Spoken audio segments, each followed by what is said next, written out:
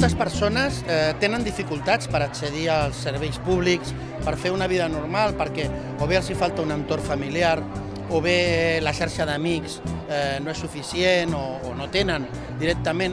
És a dir, tenim moltes circumstàncies de solitud a la nostra ciutat. Això ho hem vist molt amb el Covid. El pla de solitud el que pretén és treballar amb el conjunt de la ciutat, amb les associacions, amb les comunitats de veïns, amb tothom, per generar xarxes al voltant de les persones que poden patir situacions de solitud i previndre i donar-los suport i ajudar-les a que d'alguna manera puguin gaudir, puguin tenir accés a molts serveis que d'altra manera els hi queden lluny. Per tant, jo crec que és una fita molt important pel municipi, ser dels primers municipis d'Espanya que tingui un pla de solitud.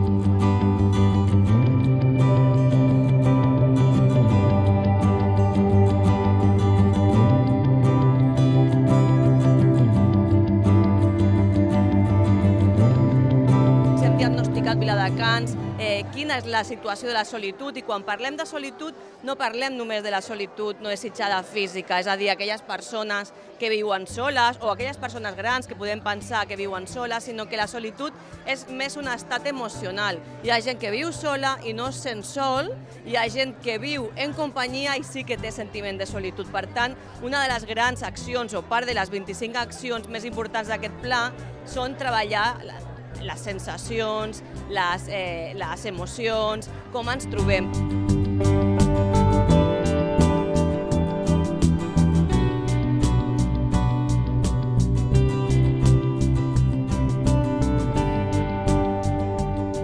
Yo participé porque consideraba que después del confinamiento muchos jóvenes, que era mi colectivo, eh, se había sentido muy afectado, entonces a través de los jóvenes podíamos dar eh, nuestra opinión y sacar pues, muchas conclusiones a través de este taller y gracias a esto ha salido el plan de, de solitud.